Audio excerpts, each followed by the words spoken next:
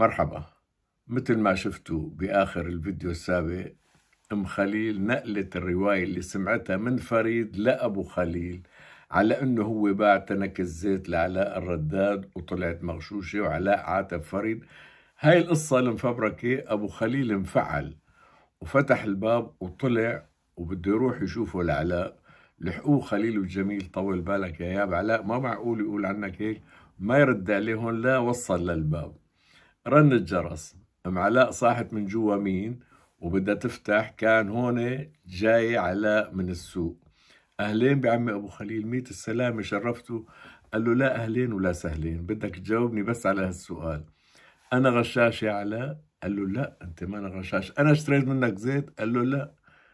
قال له لك اشو هذا الحكي؟ قال له أنا اللي بدي أسألك اشو هذا الحكي؟ فوتوا كانت ام علاء فتحت الباب. تفضلوا بنحكي جوا.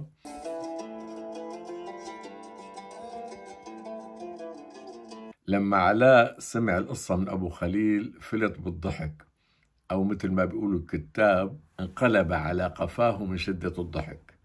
ولما خلص تجلس وقال له يا عمي أبو خليل أنا الآن أكثر إصرارا على بقاء فريد في المدرسة وإنه يستمر حتى ياخذ بكالوريا على القليلة. قال له ليش بقى؟ قال له لأنه ما شاء الله على هالخيال. غير القصة تبع تنكة الزيت. في إلى بداية أنا إيش حكالي قال أنت أخذته على السوق لتشتري له خف رياضة وقال صار الولاد يطلع صغير على أجره والرجال يطلع كبير وأنت احترت في أمرك وصرت تسأل. قالوا لك هون بادلب ما بتلاقي روح على سلقين في واحد اسمه ملك المحير وأعطاهم اسمه من بيت شمروخ بتشتري له من هونيك وبتجيبه. ونظامي. قال له أنا؟ قال له هيك عم بيقول. بقى هذا إذا بيكبر وبيتعلم والله أولاد الشيخ أحمد زهدي ليحطهم في جيبه. قال له اين أحمد زهدي؟ ليكون قصدك الشيخ أحمد زهدي الكيالي الله يرحمه. قال له إيه؟ قال له أولاده اشبون قال له ليش ما بتعرف؟ مواهب صار كبير بالشام بيكتب بالجريدة. وكمان أخوه حسيب بيكتب بالجريدة وبيطلع بيحكي بالراديو. ما بتسمعه بالراديو؟ قال له لا والله أنا عندي راديو بالعلية كل شهر ما بطلع بسمع عليها. مو بتعرف أنا طول النهار بالفلاحة؟ على كل حال يا ابني يا علاء أنا بدي أقول لك شغلة. أنا كنت بزماني ما في أعقل مني في كل إدلب. بيقولوا العالم أبو خليل السبنان عاقل. بس إيمت جنيت وجحشت لما سمعت لمرتي ولأولادي وهذا فريد قاعد يدبل لي بعيني الخضر ويقول لي يا بابا وسمعت منك أنت إنه روح حطه في المدرسة. أخي أنا هاي التجحيشة بدي صلحها. أنا بدي بطله قال له لا يا عمي أبو خليل هون اختلفنا. أنا اللي حطيته في المدرسة على مسؤوليتي. وأنا وقت اللي لازم يبطل أنا بجي ليك بقول لك بطله اتفقنا؟ قال له اتفقنا بس هاي الكذبة أنا ما بعديها. قال له شلون يعني ما بتعديها؟ قال له أنا واولادي اليوم بنعمل له قتلة في البيت وأنت بكرة الصبح في المدرسة اعمل له قتلة. قدام الأولاد يعني يرفعوا فلا قدام رفقاته قال له لا يا عمي أبو خليل الضرب ما هو كويس. هذا بتعقد قال له بالله بتعقد يا سيدي. أنا بدي أعمل له قتل اليوم وخليه يتعقد وعلى مسؤوليتي. بالنسبة لبطل السيرة تبعنا السيد فريد بيعرف حاله شو عامل وشو مخبص وكيف معلق العالم في بعضهم. ولذلك تعامل مع الموضوع بحذر شديد وبملعنة شديدة.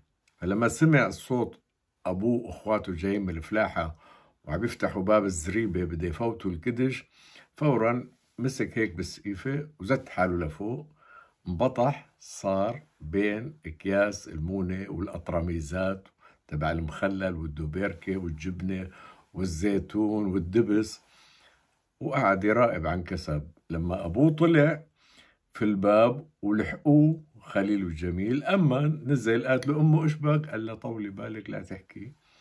شاف أشو في على الطاولة أكل وطلع بسرعة على العلية في راديو كل فترة بيطلع بيقلب فيها.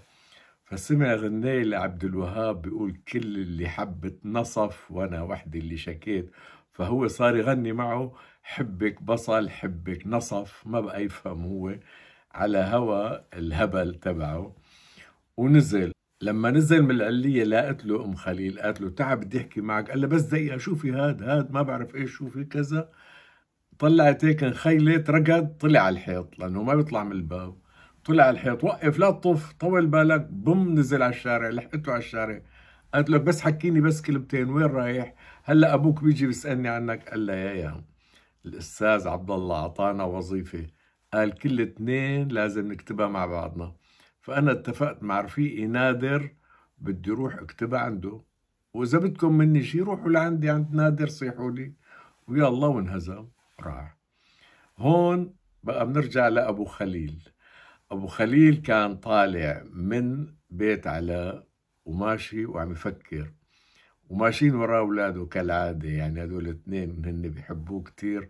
وهن مثل ما تقول ذراعه اليمين وذراعه اليسار. وماشيين وهو مستعجل فجأة وقف. قال له لجميل أنت بزمانك اشتريت شمبرير جديد للبسكليت تبعك صح؟ قال له نعم. قال له الشمبرير القديم وينه؟ قال له موجود. قال له ها ها. بتجيب يا خليل مقص بتقصه للشمبرير بالنص. النص أول واحد بنربط له لفريد إجري فيه. النص الثاني بنجلده فيه. أشو رأيكم أنا بجلده أنتوا اربطوا لي وأنا بجلده لأنه هذا هالكذب هذا اللي عم يكذبه لازم يبطله. نحن ما عندنا حدا بيكذب يا ابني.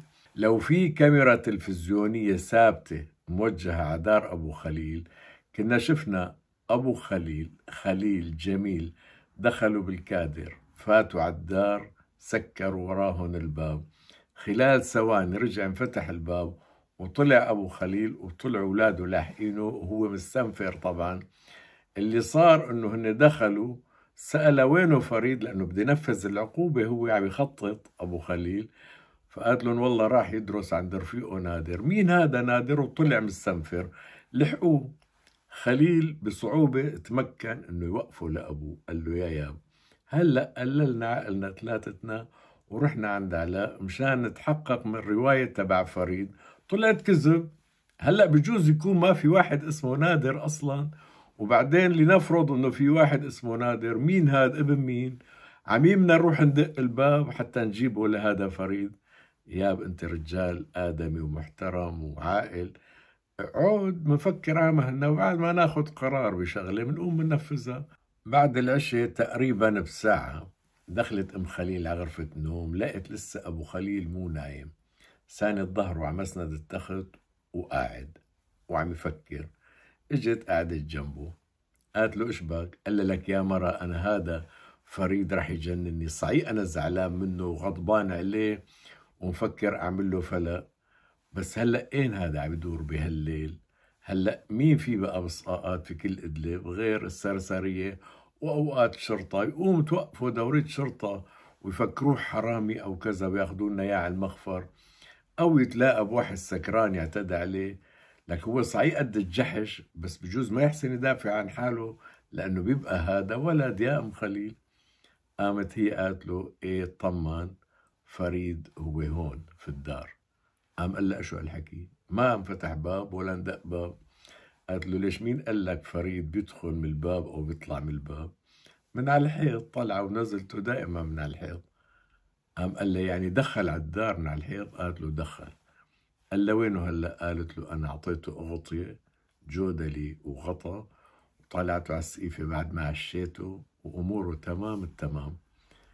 قام قال لها اسمعي لقلك قومي نزليه بدي أحكي معه. قالت له غلط يا مرعي هذا الحكي غلط. قال لها ليش؟ قالت له لأنه هلا إذا أنا بفيقه وبقول له قوم بدي أحكي معك أبوك. أنا بعرف إيش بدي أعمل.